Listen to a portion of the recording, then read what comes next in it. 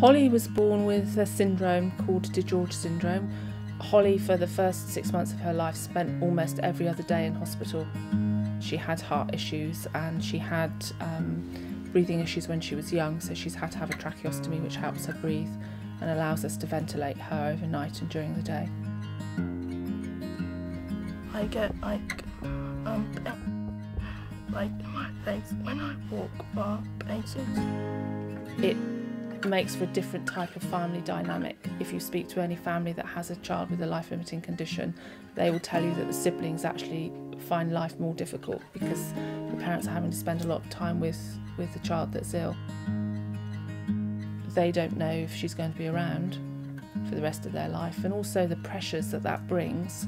You know, parents, we have to consider that we're not going to be around forever. Who's going to look after Holly when we're gone? And they take that burden upon themselves. I think it's amazing that people are donating for a cause which can help different kinds of people.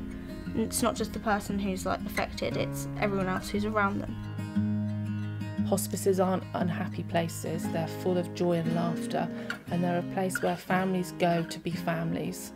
We go and make memories there, memories that we can't sometimes make at home because we're having to be the nurse or we're having to do some you know, unpleasant medical things. Whereas at the hospice, we can hand that over to a nurse and we can just be mum and dad.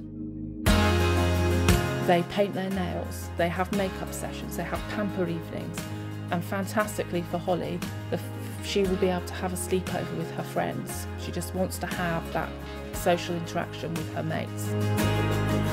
It's a place where anything is possible and the magic happens, and that's what a hospice is all about. If I knew what I know now back 13 years ago, I probably would have said, oh gosh, how will we ever cope? But you just have to cope, you have to get through it. People that, that donate to the Wooden Spoon need to understand that money will help families like mine.